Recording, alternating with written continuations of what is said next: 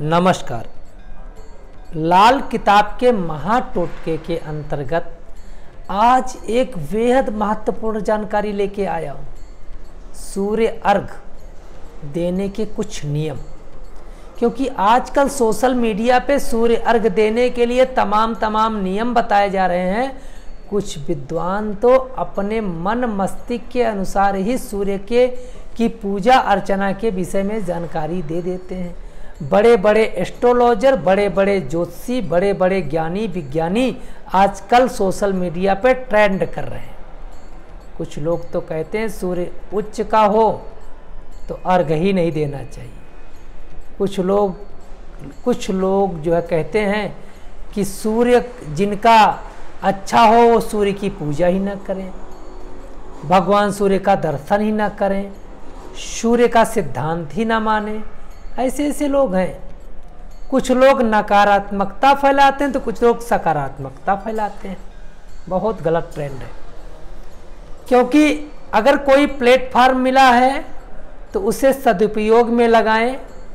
इसीलिए मैं इस सिद्धांत को तुरंत लेकर के आया, क्योंकि आपको जानकारी दें कि सूर्य अर्घ को कैसे दिया जाए और क्यों देना महत्वपूर्ण है? क्योंकि हम सनातन धर्मी, सूर्य के सिद्धांत पे चलने वाले हैं। हम सनातन धर्मी, सूर्य के प्रकाश होने पे भी अपना दिन शुरू करते हैं। प्रातःकालीन सूर्य की प्रार्थना हमारे वेदों ने गाई है। ओम भूर भुआ स्वातत सवितुर वरेण्यम भर्गो देवश्य धीमहि धियो योना प्रचोदया ये मंत्र भगवान सूर्य की आराधना ही तो है, गायत्री छंद में है। तो सूर्य की आराधना आदिकाल से हो रही है तो आजकल के अच्छे बड़े बड़े एस्ट्रोलॉजर ज्योतिष में अलग सिद्धांत पैदा कर दिए हैं, बना दिए हैं कि सूर्य को अर्घ नहीं देना चाहिए, नहीं तो सूर्य और ज़्यादा उच्च हो जाएगा तो गर्मी फैलाएगा गर्मी फैलाएगा तो सर फट जाएगा। क्या बात। भगवान सूर्य की आराधना से ऊर्जा मिलती है, भगवान सूर्य की आराधना से आरोग्यता मिलती है। भगवान सूर्य की आराधना से हर प्रकार के विघ्न दूर होते हैं। हमारे शास्त्रों ने सूर्य की आराधना के लिए तमाम ऐसे उपाय बताए हैं, जिससे कि हर मनोकामनाओं को पूर्ण किया जा सकता है। भगवान सूर्य नारायण को जो व्यक्ति नित्य सूर्य अर्घ देता है, उसके जीवन की समस्त मनोकामनाएँ पूर्ण हो जाती है। तो हम आज आपको सूर्य को अर्घ देने की एक बेहतर विधि बताने जा रहे हैं। सूर्य को जल देने की विधि। भगवान सूर्य को जल देना है तो सबसे अच्छी विधि यही है कि सूर्योदय के से एक घंटे अंदर भगवान सूर्य को जल दे दें। भगवान सूर्य को जल देने के लिए पात्र का चयन कौन सा करें? तांबे का पात्र अति उत्तम माना गया है। इससे जल देने से भगवान सूर्य खुश होते हैं। हमेशा सूर्य अर्घ देते समय आपका मुख उत्तर की ओर होना चाहिए। हो सके तो उस लोटे में आप चावल डाल लें, लाल पुष्प डाल लें। थोड़ा सा गुड़ डालना बिल्कुल मत भूलें, क्योंकि मीठा जल सूर्य को देने से हर प्रकार से खुशहाली प्राप्त होती है। और इसके साथ साथ हो सके तो लाल वस्त्र पहने लाल वस्त्र नहीं है तो सर पे लाल गमछा रख लें, भिगो के रख लें तो ज़्यादा उत्तम है।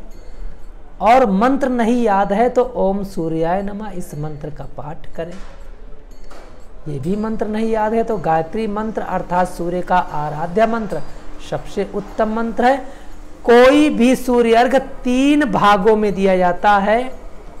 ब्रह्मा, विष्णु, महेश सतरजतम आकाश पाताल पृथ्वी के नाम पे। इसके बाद ध्यान रखना है कि जल आपके पैरों में ना गिरे। इसके साथ साथ भगवान सूर्य को आपको देखना है। देखने के लिए एक एक तरह से यंत्र बनाया जाता है। ये दो उंगलियाँ ऐसे अंदर को करके, दोनों उंगलियों को आपस में डाल के, अंगूठे से इसको खींच के ऐसे सर के सामने करके इस दिशा में ऐसे अगर सूर्य को देखेंगे तो सूर्य की नकारात्मक जो ऊर्जा है, वो आपके आँखों को नुकसान नहीं करेगी। यह मुद्रा वैदिक संस्कृति में है और इसको ज़रूर सीखिए। सीखने के बाद आप इसी मुद्रा से भगवान सूर्य को देखें। तीन बार अपने स्थान से घूमते हुए आप भगवान सूर्य की प्रदक्षिणा करें, उनको प्रणाम करें। इस प्रकार से सूर्य अर्घ की ये संपूर्ण विधि है, जो व्यक्ति नित्य नैमित्तिक सूर्य भगवान को अर्घ देता है, उसके जीवन की समस्त बाधाएँ दूर हो जाती हैं। यह वीडियो भगवान सूर्य नारायण का कैसे लगा? इसे आप अपनाएँ, किसी के बहकावे में ना आए। सूर्य भगवान हमारे जीवन के लिए आराध्य है।